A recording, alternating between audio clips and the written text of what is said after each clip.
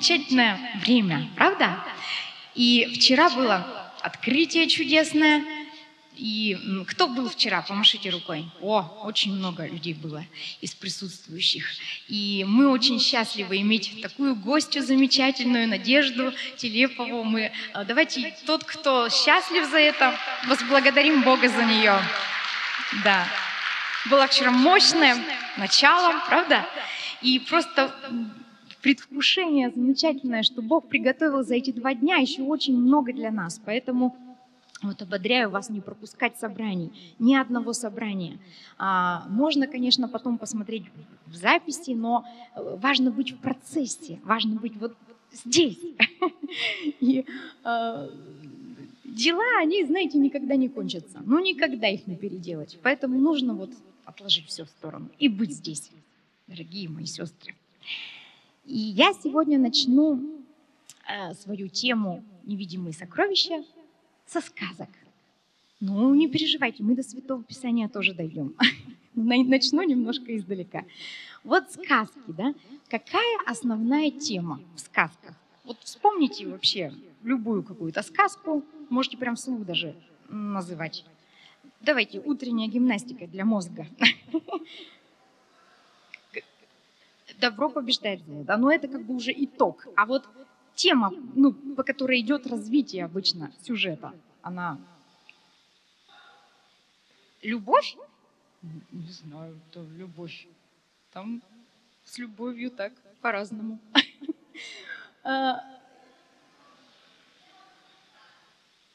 Вот вы прям глубокомысленно как отвечаете, воспитание там, ну, я понимаю, что сказки это не просто какая-то развлекал, развлекаловка, да, сказки это вообще серьезная вещь. Это э, такой архетип народного мышления, то есть как бы то, что вот люди больше всего хотят, эти характеры, эти вот прямо основа основ вот такого народного а, мышления – и в этом плане вы правы, они воспитывают, они о добре говорят. Но вот сам сюжет, то, что на поверхности, это, знаете, люди чего-то ищут все время там. Поиск вот этих вот каких-то сокровищ. Вот какой ни возьми там, не знаю, сказку «Конек-горбунок», что там еще, поиск, ну, счастье, ну, счастье это тоже как сокровище некоторое. Вот э, наши русские народные сказки, Иван Царевич без конца там честными и нечестными путями что-то добывает вот такое ценное. И в любые истории, даже вот те, которые писали писатели, там, Том Сойер, там вокруг все кладов крутится, а, остров сокровищ. То есть мы очень много знаем таких вот историй, да, и не просто так это происходит. Золотой ключик, да, золотой ключик, а, там Буратино, вы же помните, что он ищет? Но интересно, что прообраз этой сказки Пиноккио, там этот деревянный мальчик ищет другие вещи. Он ищет там самое главное сокровище, вот стать человеком. А чтобы стать человеком, ему нужно найти э, вот, честность, э, заботу о других, милосердие. Вот такие вещи он ищет. Но в итоге все чего-то ищут. И не просто так это отражается вот в этих всех э, сказках и литературных произведениях, а потому что это жизнь наша так устроена. Вот ладно сказки, это уже что-то такое старое, что-то такое очень давнишнее. Посмотрите на современность, посмотрите на те же компьютерные игры. Они на чем основаны? Опять бежит этот человечек и что-то там через препятствия, ну без конца какие-то ищет сокровища. По, по пути что-то хватает. Или вот эти новомодные игры, квесты, которые любят дети, да, очень любят. То та же самая история. То есть бегут через препятствия, им нужно что-то найти, что-то важное, что-то обрести. То есть мы видим во все времена, это какое-то универсальное, вот, универсальная потребность человека а, найти и овладеть чем-то ценным. Ну, назовем это так условно сокровище. Вот говорит ли Библия о сокровище? Очень много. Вот подтверждение того, что это реально важная тема, такая универсальная для всех людей, это то, что в Библии прямо очень много говорится о сокровищах. И, конечно, мы будем а, сегодня вот об этом читать да, в Библии. Ну, я считаю, что вот найти и овладеть вот этим сокровищем – это какая-то программа, вложенная в человека Богом.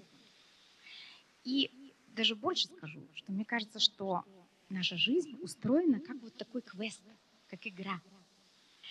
А, это, это неплохое такое стремление да, найти вот это сокровище. Это то, что в нас заложил Бог. Ведь а, Библия говорит, жизнь – это путь, прежде всего путь. А путь – это всегда что? Нелегко. Вот кто-нибудь в поход ходил хоть раз в жизни, да? Вы помните, что просто чтобы идти, это уже тяжело. Вот не сесть на машину или там на лодку, или на э, какого-то коня, а вот просто пешком. Это, ну, даже на коне и на лодке это тоже сложно достаточно. Вот двигаться уже тяжело. А когда еще на тебе рюкзак? А когда еще в гору подъем? Или погода испортилась? Короче, есть препятствия, есть еще прям дополнительные трудности. Вот это же самое мы видим и в жизни. То есть э, иногда нам, нам вообще всегда достаточно трудно, иногда нам вообще нелегко, иногда просто опасно. И еще мы должны что-то найти. А вот что найти? Вот это как-то тоже не совсем понятно. И э, давайте сейчас посмотрим, что э, ищут обычно люди вот в этом мире. Давайте вот первую картинку, которую я, э, такую схему для вас м, приготовила. Э, и вы видите, что значит, вот внутри вот этот кружок, это ну, наше сердце. Это как бы наше внутреннее сокровище, наша ценность внутренняя, я бы вот так ее еще назвала. И вот посмотрите, значит, а, какие вещи подпитывают нашу внутреннюю ценность, да? Ну, во-первых, деньги. Деньги и материальное вот это благосостояние. Это очень важно для людей современного мира. Интеллектуальные знания, да? физическая красота и также вот я это назвала счастливые отношения. Ну, то есть отношения не обязательно семейные, но какие которые дают нам какую-то внутреннюю подпитку, когда вот нас любят. И вот когда у нас это есть, чем больше мы как бы этого набираем, тем больше вот этот внутренний кружок нашей внутренней ценности. Ну, как вот примерно в коньке-горбунке. Если ты смог, значит, получить, заполучить жар-птицу, а, перстень там со дня моря, а, чудо-девицу, то ты достоин стать царем. То есть твой социальный статус очень сильно повышается. И таким образом, вот как бы извне идет внутрь. Вот такие вот вещи, которые извне подпитывают нашу внутреннюю ценность. И сами по себе все эти вещи неплохие, правда? Ну что плохого в финансовом благосостоянии, что плохого в физической красоте и так далее. А, это все хорошие вещи. Одна проблема у них. Вот понимаете, они недолговечны. Они очень приходящие.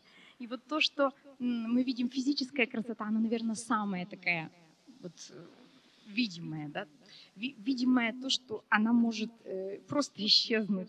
Она э, вот совершенно не твердая такая валюта. Это то, что покидает нас достаточно быстро.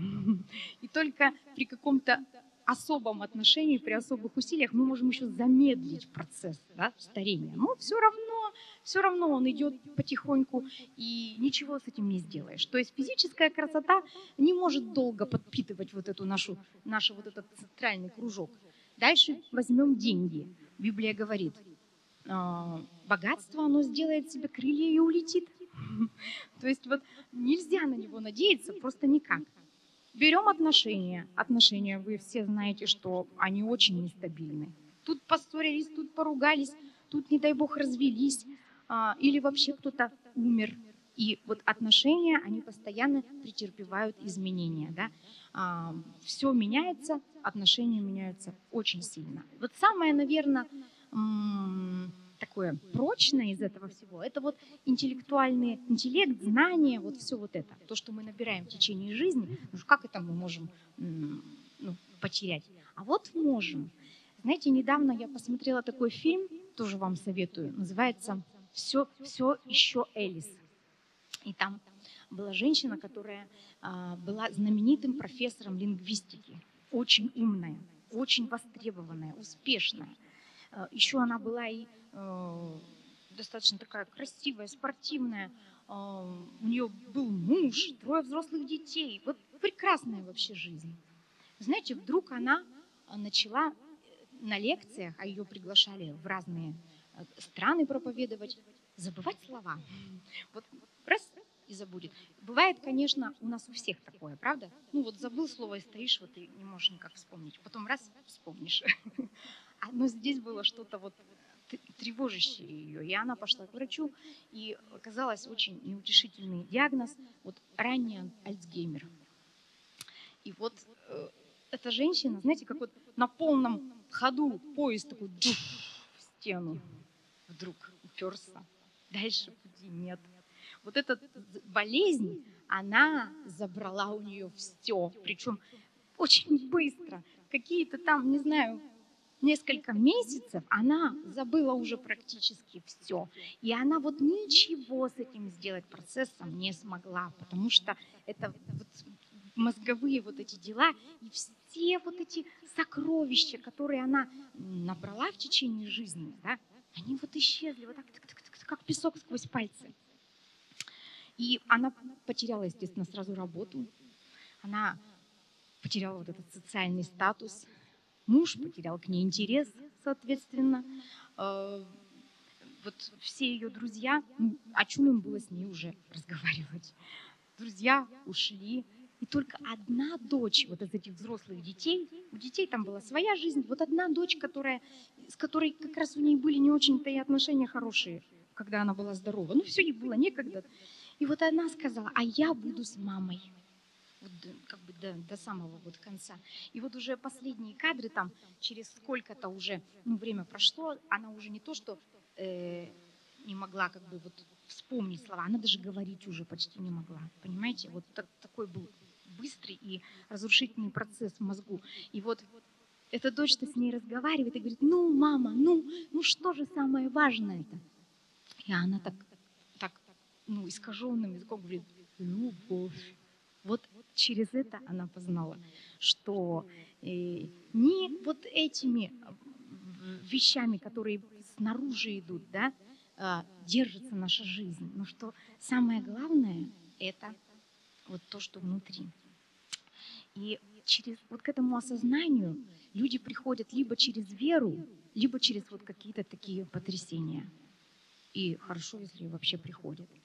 Ну вот верующие должны же отличаться да, от людей этого мира. Вот как Иисус сказал, э, да, мы там, ну, нам нужно заботиться, ну, нам нужно что-то есть, что-то пить, во что-то одеваться. Он говорит, ну этого язычники ищут вот эти благосостояния, вот чтобы у меня все было классно, чтобы я там, не знаю, была красивая, хорошо выглядела, модная одежда. Вот этого ведь всего ищут мирские люди. И это все нам нужно. Но Иисус говорит, вот не об этом заботьтесь. Давайте посмотрим, о чем должны заботиться а, верующие люди. Вот давайте вторую схему. Вторая схема а, видите, она по-другому уже расположена. Вот это внутреннее наше как бы пространство нашего сердца, оно, оно большое.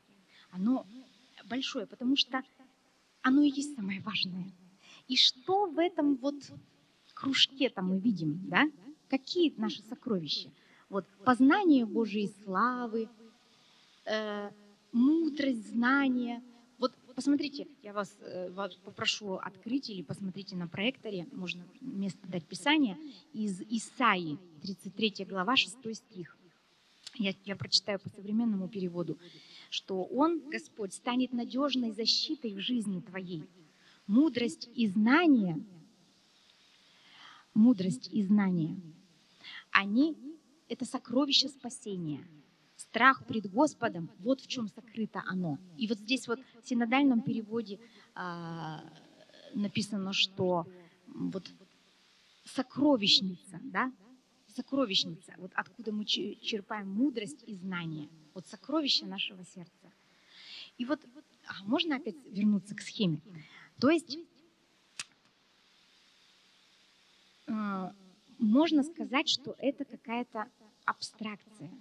Вот вы скажете, ну какая-то такая вещь, вот не совсем тоже понятная, где ее брать. Ты вот, Диана, научи нас, как вот то из первой схемы получить. Мы будем рады.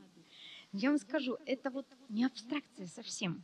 Просто это не так легко нам дается. Не так, может быть, это как-то легко приходит к нам.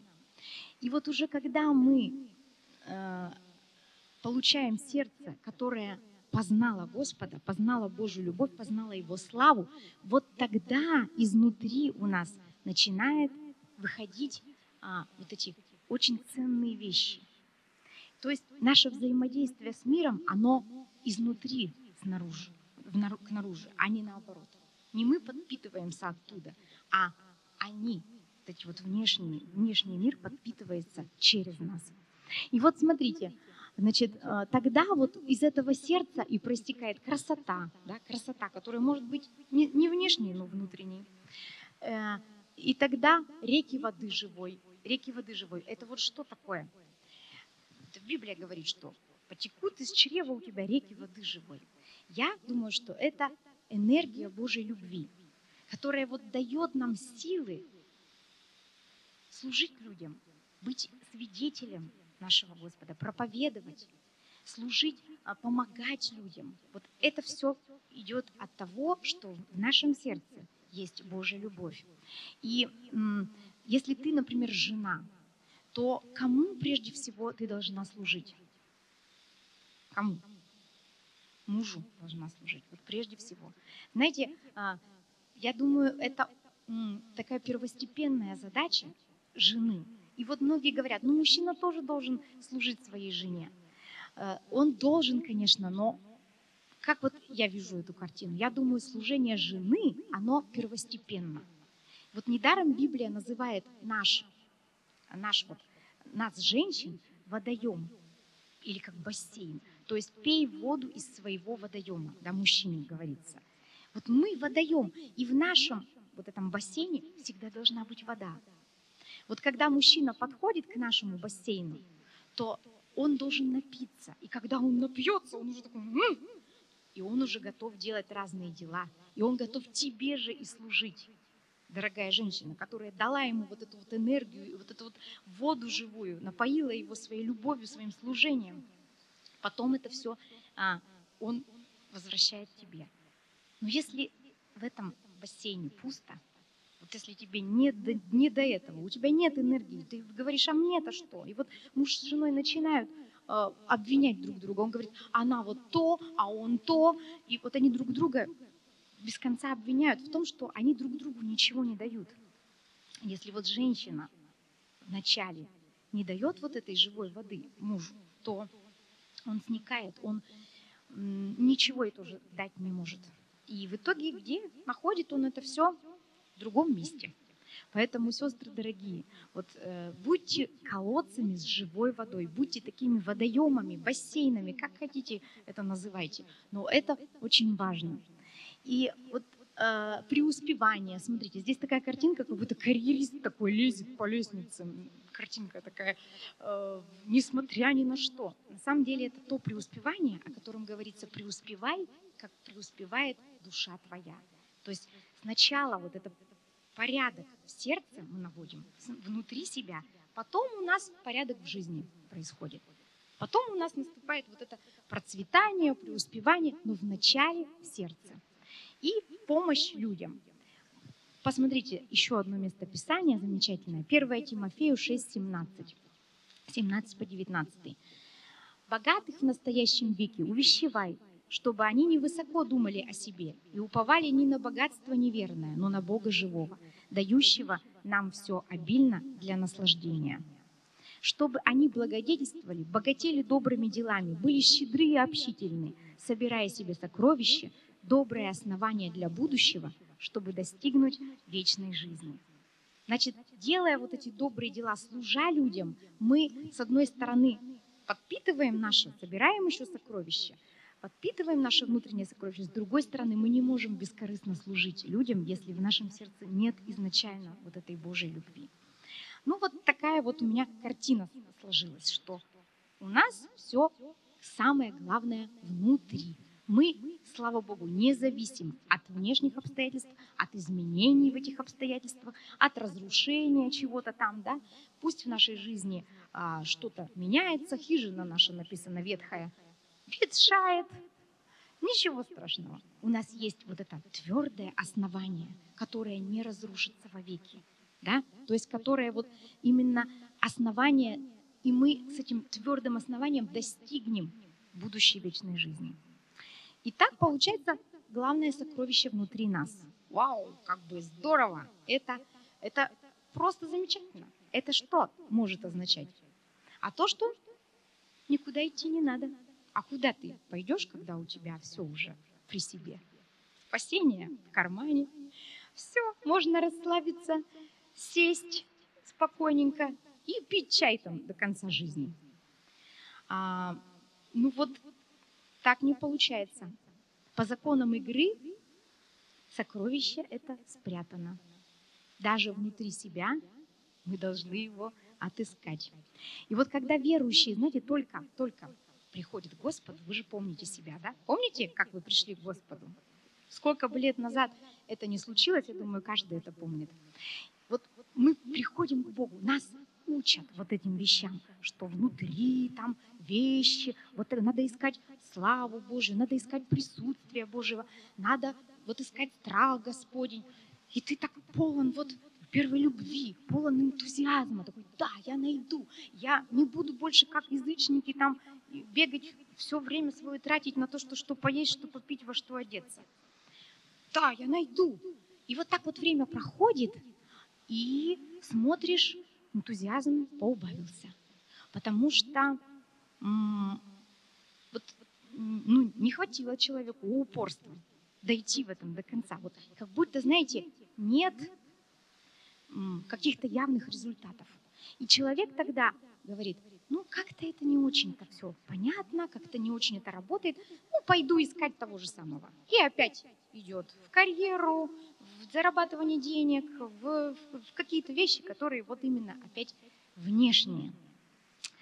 И я думаю, что чтобы нас такое не постигло, такое вот, нужно э, проводить вот копательную работу. Вот просто такую, знаете, по-другому ее не назовешь, копательную. Вот у кого есть сад, огород, кто-нибудь когда-нибудь землю копал? И это одно из самых таких неинтересных занятий в жизни. То есть вот землю копать, это просто вот э, как бы, ну, это кропотливая, тяжелая, неинтересная работа. И она э, не, не приносит никакого удовольствия. Зато потом ты там либо камни находишь ценные, либо ты там выращиваешь какие-то прекрасные плоды. Вот, а, и ты понимаешь, что пока ты не вскопаешь вот это все тщательно, терпеливо, не внесешь туда вот эти удобрения, вот ничего не получится, да? Или там камни эти ищут геологи. Это очень такой процесс трудоемкий. Но при этом есть какие-то потом вот плоды. И мы также должны вскапывать вот э, Писание, искать там что-то постоянно в этом пребывать, не успокаиваться. Если у тебя давно нет откровений, или если ты вот как-то охладел, если у тебя уже заботы вообще закрыли весь твой горизонт, и тебе просто столько у тебя дел в жизни, что ты не можешь никакого найти свободного времени для этого.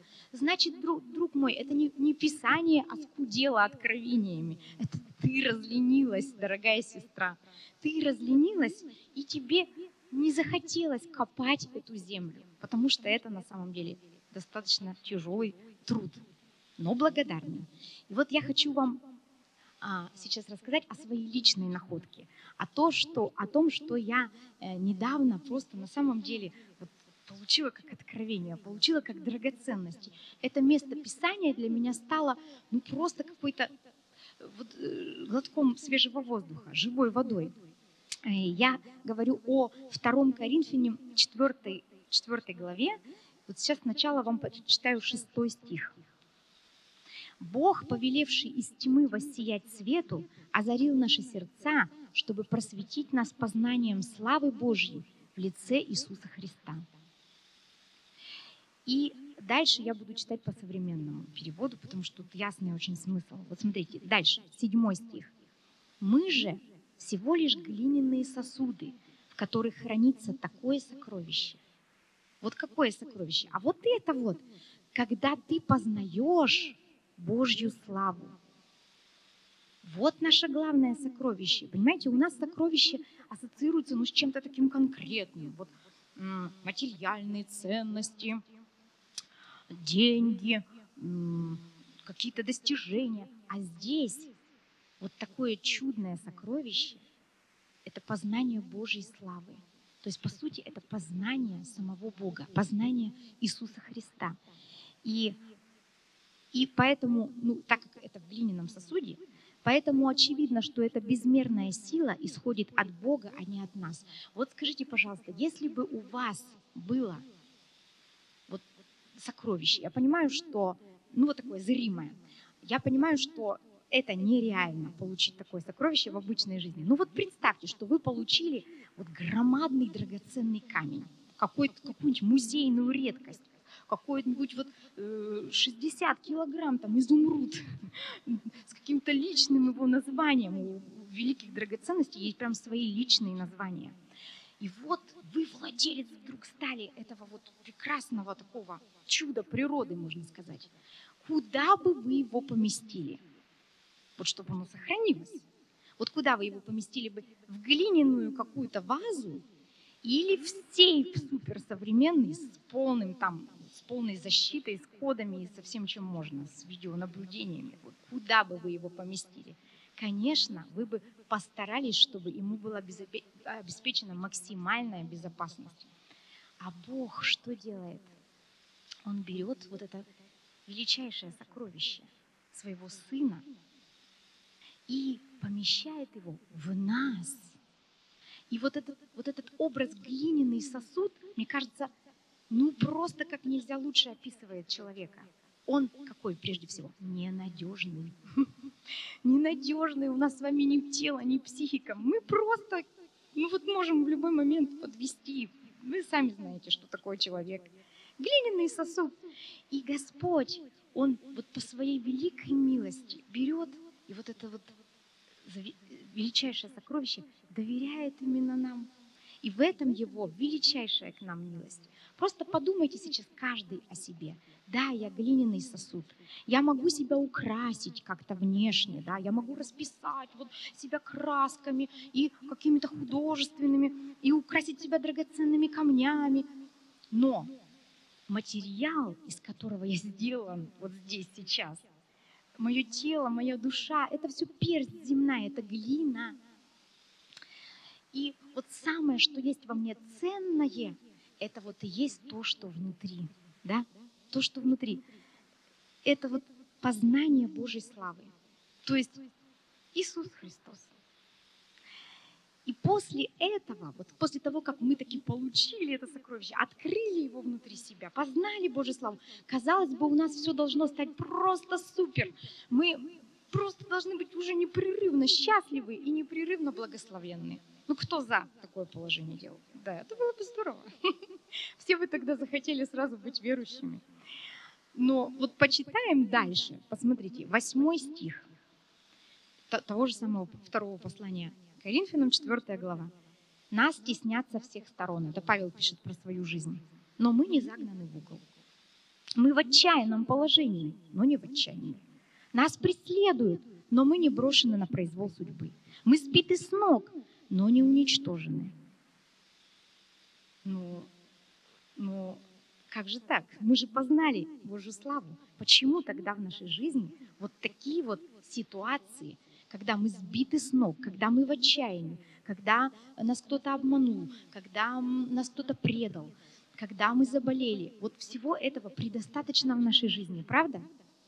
И посмотрите, те, кто познали, что Господь есть Бог, те, кто познали Его славу, те как-то реагируют странно на вот эти вещи, которые случаются, по сути, со всеми.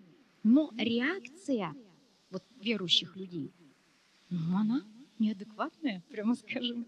Вот теснят нас, но мы не загнаны в угол. В отчаянном положении, но не в отчаянии, но не отчаиваемся. Мы сбиты с ног, нас нельзя уничтожить. Нас преследуют, а мы не брошены на произвол судьбы. Это как? Может быть, это Павел просто был такой духовный гигант, что он вот мог так. Но он говорит «мы». Значит, верующие. Значит, и мы с вами так можем. И вот тут я думаю, э, что вот это вот видение жизни как игры немножко, оно вот тут как раз объясняет многое. Вот вы когда-нибудь играли в настольные игры? Ну, играли все же, правда? Ну, вот скажем, игра «Монополия», когда ты там сидишь, карточки, ты там покупаешь заводы, пароходы, у тебя там так, деньги, потом раз все теряешь. Ты вот хватаешь... Ты, конечно, когда ты в игре, ты так переживаешь, нервничаешь, тебе кажется, ну, важно выиграть, ой, у меня тут, ой, я тут все потерял, я обанкротился. Ну где-то же в глубине души ты же понимаешь, что это игра. И, и когда-то ты все равно очнешься. Некоторые люди очень сильно вовлекаются. Они так нервничают, что прям страшно за них, когда играют. Но потом при, приходит все равно какое-то время, когда они, ну все, сложили все в коробку, заводы, пароходы, все было не настоящее. До свидания, мы пошли.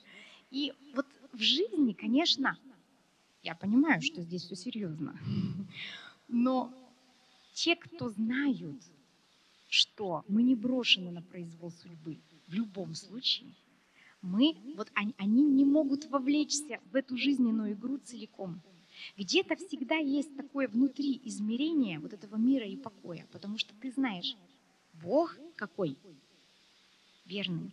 А еще какой? Добрый. И вот посмотрите, в этом же, в этом же самом месте Писания, чуть попозже, в 15 в 15 главе написано, «Ведь все это делается ради вас, чтобы Божья доброта, умножаясь, достигла множества сердец и хлынула из них потоком благодарности во славу Бога. Вот почему мы не падаем духом. Даже если наша внешняя оболочка ветшает, то наша внутренняя сущность обновляется с каждым днем – Страдания наши легкие и мимолетны, а приносят они нам огромную, полновесную, вечную славу, которая многократно перевешивает страдания. И мы устремляем взор не на видимое, а на невидимое, ведь видимое временно, а невидимое вечно. Вот Бог добрый, правда? Ты вот понимаешь, что бы с тобой ни случилось, какие бы ни были испытания, но Он тебя не оставит. И даже если будет смерть, верующие люди, они даже смерти не должны бояться. Это в этом же вот отрывке. Просто почитайте потом сами вни, внимательно. Даже смерти мы не боимся. Даже если все дойдет до того, что мы умрем, мы умрем. Вот и все. И пойдем куда? Опять же к нашему благому, верному Богу. Поэтому нам нечего бояться. Если у вас вот драма в жизни, если у вас настолько происходит вовлечение вот в эти вещи, которые с вами происходят, значит, вы ну, не укоренены в сердце, не укоренены вот в этом познании Божьем. Значит, вы забыли, что в вашей хрупкой глиняной оболочке находится настоящее сокровище. Это сокровище-то нас и защищает от всего. Какие бы там перипетии не были в этой жизненной игре, о том все будет замечательно. Меня это очень вдохновляет. А, почему же тогда, вот вопрос, Бог добрый, но почему же мы так страдаем? Потому что, дорогие, эти страдания нам нужны. Не радуется Бог, мучая нас специально, но Он просто понимает, что мы без этих страданий не получим вот эту славу, не получим вот эту вечное блаженство. Как это устроено, я не понимаю. Но я верой это принимаю, что да, мне нужны вот эти страдания. Бог в своей доброте делает их легкими и такими, какие я могу перенести. Но потом я получаю безмерно больше вот этой славы и вот этой э, ну, того, что вот этого сокровища. Ну, сначала мне нужно пройти вот этот процесс. Поэтому давайте примем это верой, просто потом поймем. И вот смотрите, значит, мы находим сокровище внутри себя, принимаем это верой. И я вам уже говорила, что путешествие наше продолжается. Нам надо познать сокровище, чтобы наш дух принес плод. И вот теперь я сейчас возьму тут свой реквизит.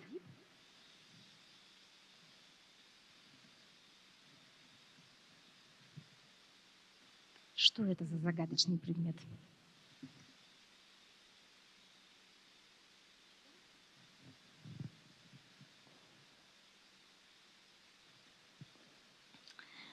Посмотрите.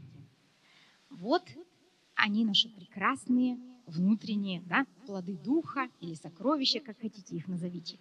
Вера, любовь, доброта, радость, мир, долготерпение. Ну, тут такой порядок вольный. Там еще есть самоконтроль, да, воздержание, вот такие вещи. Тут уж что влезло. Как бы это такая замечательная, светлая сторона вот, христианской жизни. И хорошо, когда это для нас не абстракция, а прямо реалии нашей жизни. Но, как вот мы сейчас у Павла прочитали, что э, тут есть и вторая сторона. Никто нас вот от этого не избавил, пока мы здесь на земле. И модификации тоже вот этой стороны бесконечны вина, страдания, боль, страх и дальше по списку. Да, все, что с нами происходит очень часто. Как будто бы, понимаете, две стороны. Вот есть хорошая сторона, а есть плохая. А, и мы достаточно четко способны их разделить. Но вот я не зря их, знаете, нацепила на манекен. Вот это как бы вот одно же, правда? Вот это все одно. Ну, нет никакой хорошей и плохой стороны. Все это две стороны одного и того же. А это одно и то же называется реальность жизни. И это в нашем понимании, это плохое и хорошее. На самом деле это ну, просто как вот стоит, например, вещь, да, какая-то. И если свет падает откуда-то, то всегда одна сторона будет вот светлая, а другая темная. Вот и все. Они друг без друга совершенно не могут. И также и мы тоже э, вот нуждаемся в них обоих. Вот как мы сейчас читали, для чего нам нужны страдания? Для того, чтобы Божья слава да, умножалась в нашей жизни, и еще для того, чтобы мы познали себя, потому что без вот этих потрясений, встрясок, разных негативных вещей, мы себя даже часто и не знаем, как мы реагируем, что-то из нас такое вылазит периодически. И также это рост, понимаете? Не будь вот этого вот постоянного стимула к росту в виде вот всех этих вещей, которые надо преодолеть. Да мы бы сидели спокойно и ничего бы не делали с собой, и все бы у нас было окей.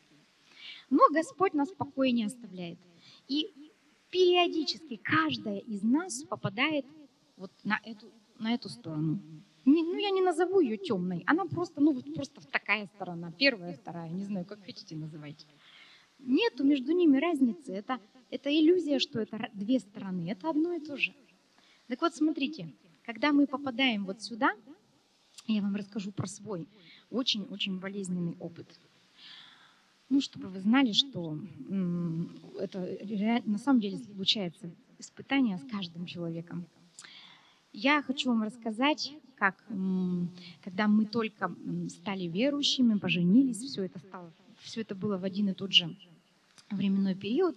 Мы вот начали церковь, были буквально Виктор два года верующий, я один год верующая, а мы уже начали церковь, поженились, вот все в одно время. И у нас э, родился первый ребенок. А, и он прожил всего полтора месяца, потому что у него был сепсис, и он, а, а, в общем, ну, не смог справиться с этой ужасной инфекцией, хотя вот он из своей жизни, вот из этих полутора месяцев, всего месяц, всего неделю был дома и месяц в реанимации. Он боролся. И вы знаете, пока я ну, месяц в реанимации, я, естественно, лежу в больнице. Бегаю без конца в реанимацию, ношу молоко. И пока вот я там бегала по этим днем и ночью, по этим ледяным коридорам больницы, там было очень далеко, я вот очень хорошо помню это все. И я, ко мне прозвучал голос Божий в сердце. А, ты будешь благословлена в детях. Тебя будет много детей, и это будут благословенные дети. Я такая, все, окей, Господь, значит, у меня есть обетование, этот ребенок будет здоров, он, он выздоровеет, несмотря на то, что там ужасные всякие прогнозы, все будет хорошо. Я, все молятся, церковь молодая, но очень горячая, все молятся, постятся. И вот такая происходит ну, вещь, что он уходит с этой земли, его забирает Господь. И врачи тогда говорят мне, это вы все виноваты. Это ваша внутриутробная инфекция. И все дети, которые у вас родятся, они будут вот заражены вот этой инфекцией, и будет вот ровно так все. Как можно такое сказать? Вот женщине, да, которая вообще еще в послеродовой депрессии еще потеряла ребенка, и вот они вот так мне просто сказали. И, по сути, можно было на этом прекращать попытки уже получить какое-то ну, здоровое потомство, потому что проходить снова через этот кошмар вообще не хотелось. Понимаете, вот 31 год прошел с тех пор, а я все еще помню, как будто, знаете, как будто мне отпечаталось это в мозг очень глубоко. Я помню вот это состояние такой потерянности полной, такой безнадежности, такой обиды на Бога, потому что мы ведь все это делали как верующие, понимаете? Мы все сделали правильно, мы постились, молились, исповедовали. Вот все, какие только были у нас вот эти инструменты, да, мы все их применили. И ничего не сработало. И вот я помню такую ночь в душе, которая была просто, она не проходила. Вот наступает день, а, а у меня все как будто ночь. Вот темнота перед моими внутренними глазами была темнота. С Богом мы быстро наладили отношения, я помню, когда я, ну, как-то молилась там со слезами, что как же так, Господь, как ты это вообще допустил? Ведь мы же служили тебе, мы же, мы же ну, семья пастора, мы должны быть примером. Почему же так получилось, что вот мы вот попали в такую вот, в такую вот яму? И Господь сказал, я не оставлял тебя, я страдал вместе с тобой. И вот это вот э, слово, оно было мне великим утешением. Я поняла, что Господь, а, когда мы проходим вот эти долины смертной тени, Он с нами идет, и Он страдает, потому что Он нас любит, потому что Он нас жалеет. Ну, а потом потихоньку и все вот это вот, вся эта тьма, она ушла, потому что Господь благ, э, время залечивает вот эти все раны. И что что мы сделали тогда, знаете? Ну, нам же сказали врачи, что бесполезно пытаться, что вот все дети, которые родятся, будут уже изначально вот такие больные. А мы просто взяли и вот так сознательно повернули вот этой стороной. И встали на этом обетовании. Господь сказал, у вас будет много детей, и ты будешь благословенна в детях. Все. Страх, как бы, страх был большой перед второй беременностью, что все это повторится.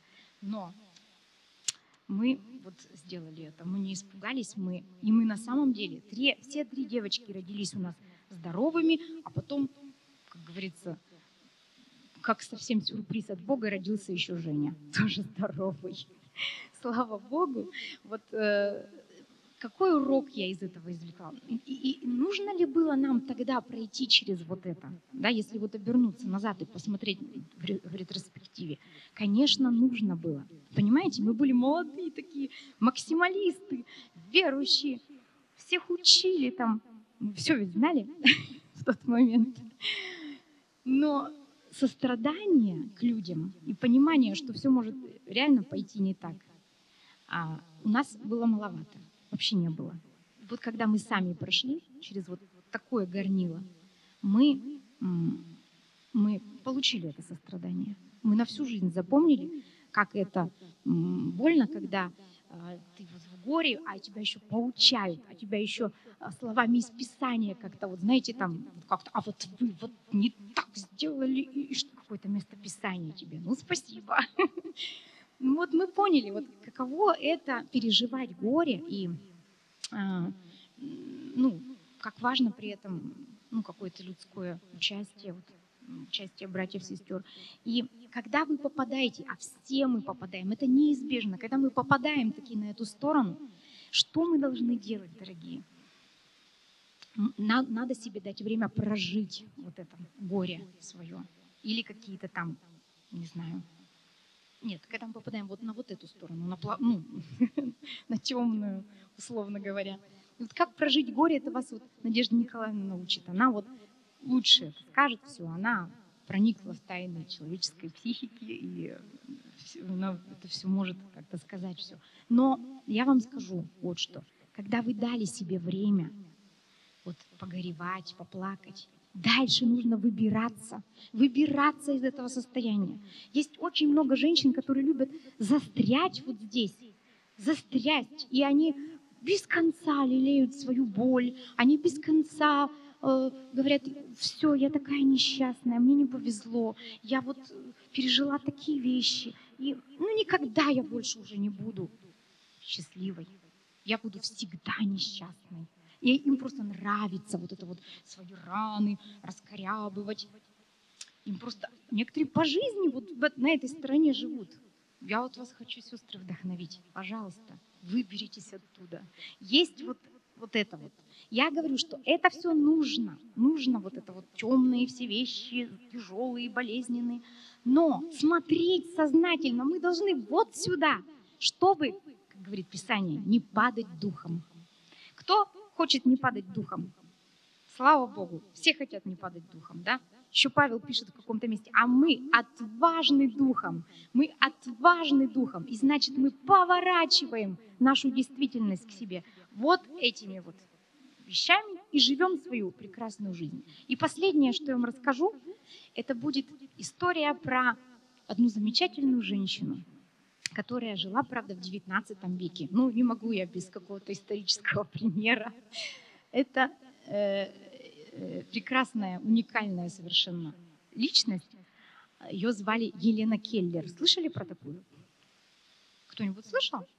Да, это очень известная христианская такая а, потрясающая женщина. И вот, э, вот уж кому не повезло, так это ей. Она родилась в прекрасной семье, которая имела финансовый достаток, у них был там свой дом, ферма, животные, сад, вот, ну, замечательно все было. И девочка вот эта родилась совершенно здоровой, она э, уже говорить даже начала, ей было год и восемь месяцев, такая была прямо живая, и видно было, что способная. И вы знаете, в год и восемь месяцев она заболела. Заболела, воспаление мозга у ней было и желудка одновременно. И, конечно, медицина была еще не на том уровне, что сейчас. Она просто а, была на грани жизни и смерти. Ну, выжила, но осталась слепой и глухой. А если слепой и глухой, значит, и говорить она уже не могла. Так как она еще была в таком несознательном возрасте, она и не помнила сильно, что там было до того, как, понимаете, как она вот ослепла и оглохла. То есть эту девочку просто окружил мрак. Вот стопроцентный. Она не могла общаться, она не могла э, взаимодействовать с миром, она могла только ощупывать все. Вот она ощупывала это все, но Э, что это такое, она не назвать, не понять не могла. И вот, этот, а, вот, вот эта ее жизнь с, с, такими, с такими ограничениями, она плохо сказалась на ее психике, энергии у нее было много, что вот такой был живой ребенок, а выхода не было. И она стала очень капризная, очень нервная, всех изводила, то есть они уже не знали, что с ней делать. И вот Господь просто помог. Он послал в их семью прекрасную, талантливую учительницу, которая тоже была там с, э, с плохим слабым зрением. Она знала, вот как, каково это вот таким детям. И она закончила специальный институт, ее звали Анна Салливан. Она пришла к ним в дом и просто поселилась там. Решила вот помочь этой девочке. И э, как она с ней взаимодействовала? Она в ее руке набивала слова каким-то образом. Ну, типа, вы знаете, этот язык-то... Э, в общем, девочка-то не знала этого языка, она, никак это невозможно было до нее донести. Но один раз произошло чудо. Она просто играла там во дворе с водой. А вот вода была всегда любимой ее, любимой ее такой ну, вещью, что ли. А, она очень любила воду с детства. И когда она еще до болезни, она научилась говорить слово «вода». И вы знаете, она играла с этой водой. В это время Анна Салливан на, на, нажала в ее руке буквы вот эти «вода». И вдруг вот до Елены дошло. Вот это самое вот мокрое, такое прекрасное, называется вода. Вот для нас это легко, потому что мы можем сразу видеть, слышать, да, ощущать.